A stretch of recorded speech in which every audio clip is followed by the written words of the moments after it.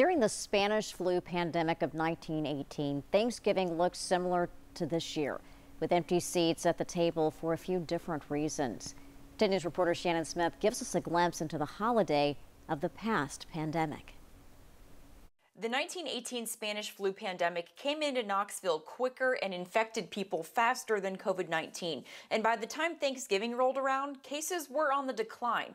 World War I had just ended, meaning rations were lifted. Sugar was back, turkeys were plentiful, and for many, it was a more lavish Thanksgiving than in years past. This menu gives us a glimpse of feasting foods from the day, more options and cheaper prices than this time around.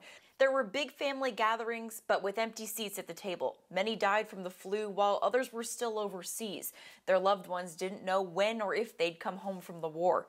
Even as flu cases and deaths continued into 1919, the pandemic did eventually end. They made it through, and we will too. In Knoxville, I'm Shannon Smith.